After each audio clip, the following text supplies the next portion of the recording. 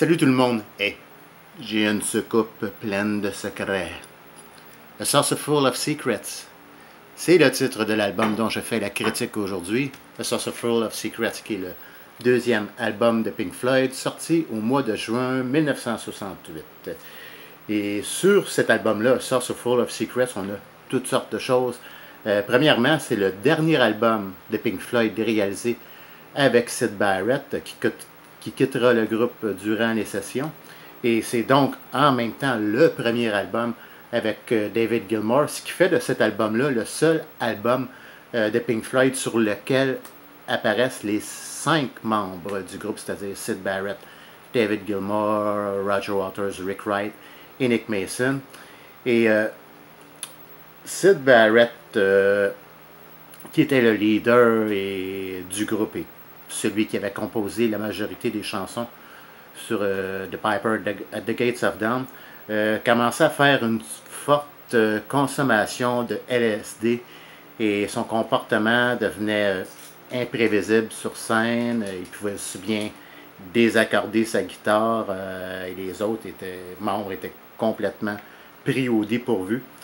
C'est ce qui a fait qu'on a fait appel à David Gilmour pour commencer comme deuxième guitariste euh, du groupe pour couvrir euh, les erreurs, les comportements de, Barrett vers la fin 1967. Et pendant donc un certain temps, euh, pendant une semaine ou deux peut-être, le groupe évoluait à cinq membres, mais c'était seulement une question de temps avant que David Gilmour remplace définitivement Sid Barrett. Et on a pensé pendant un certain, un certain temps garder Sid Barrett euh, un peu comme un Brian Wilson pour les Beach Boys, de garder comme hors de la route, hors des concerts, mais le, garder seulement, uniquement comme compositeur. Mais cette espérance est finalement devenue euh, impossible avec le temps dû au comportement de Barrett. Et j'aime beaucoup aussi la pochette euh, de cet album-là. C'est la première pochette de Pink Floyd réalisée par Hypnosis, euh, qui, réalisera toutes les pochettes de Pink Floyd à partir de A Full of Secrets jusqu'à l'album Animals. Et donc, euh, musicalement parlant, euh, Sid Barrett apparaît quand même sur les sept chansons de l'album. Sid apparaît sur trois chansons, même s'il est l'auteur de seulement une chanson.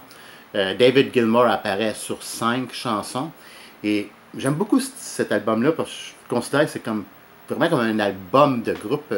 L'album est bien réparti, euh, que ce soit euh, au point de vue du chant ou de la composition.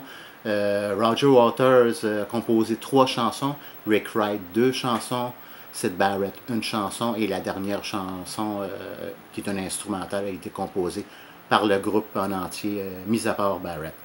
Et cet album-là suit un peu, si vous voulez, comme l'atmosphère du premier album, de Piper The Gates of Dawn. Ça suit un peu la même structure euh, pop psychédélique, si vous voulez, avec cette même sensibilité de la pop psychédélique que j'aime beaucoup, que, que j'adore. Et c'est en même temps comme un, album de transition. C'est-à-dire qu'on a des, quelques chansons qui font des petits clins d'œil un peu à The Piper The Gates of Dawn. On a la première chanson de l'album qui est Let There Be More Light, euh, dont le riff s'inspire un peu de Interstellar Overdrive figurant sur le premier album. Euh, on a des chansons, deux chansons de Rick Wright, Remember a Day et See Ça, euh, qui ont un côté nostalgique dans les paroles et qui rappellent un peu les, ces espèces de comptines ou de fables, si vous voulez, de Sid Barrett, genre Flaming. Donc on retrouve un peu le même esprit. Euh, peut-être que l'album tend un peu plus cette fois, même si l'album, tout comme Piper the Gates of Dawn, est à la fois psychédélique et rock spatial. Euh, peut-être que l'album tend un peu plus vers le rock spatial, il se détache légèrement un peu du psychédélisme, même si l'album demeure toutefois psychédélique.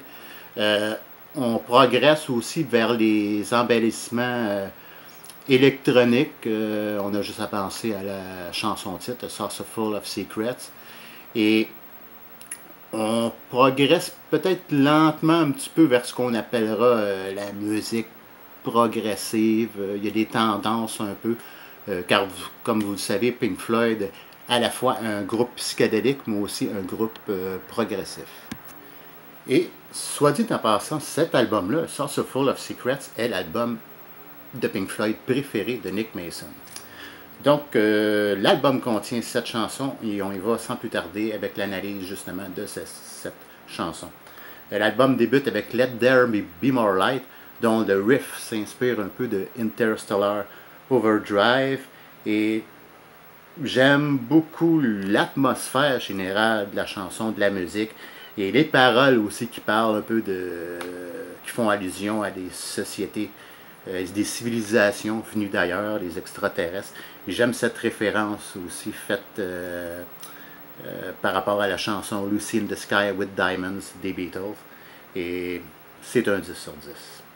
Chanson suivante qui est Remember a Day, qui est une chanson de Rick Wright. Quelle belle chanson! C'est une de mes chansons préférées, chanson que je placerais facilement dans mon top 10 pour les chansons préférées de Pink Floyd.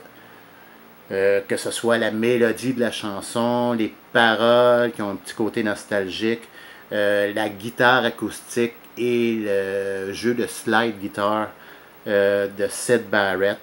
Et c'est définitivement un 10 sur 10 pour cette chanson-là.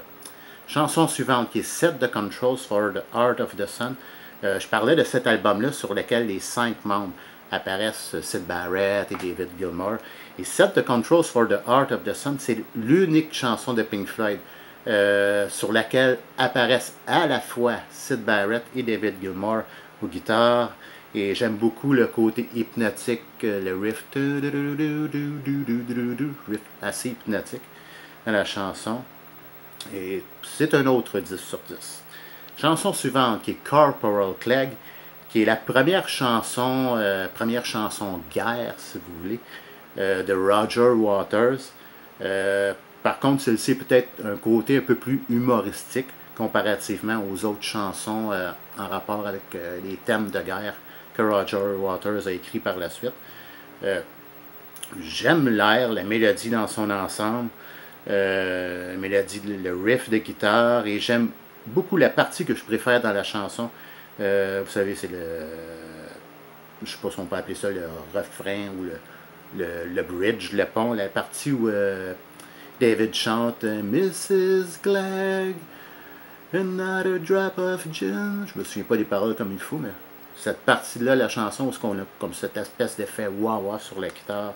Et en ce qui me concerne, c'est un 10 sur 10.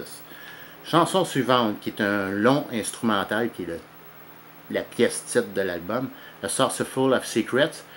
Euh, si je divise cette chanson-là, il y a trois ou quatre parties, mais disons que la première, pour ce qui est de la première partie euh, de cette chanson-là, ce titre-là, euh, je donnerais peut-être quelque chose genre un 7 sur 10 maximum. Par contre, pour la dernière partie de cet instrumental-là, et en particulier la, partie avec l'orgue et les chœurs, euh, c'est définitivement un 10 sur 10, à mon avis.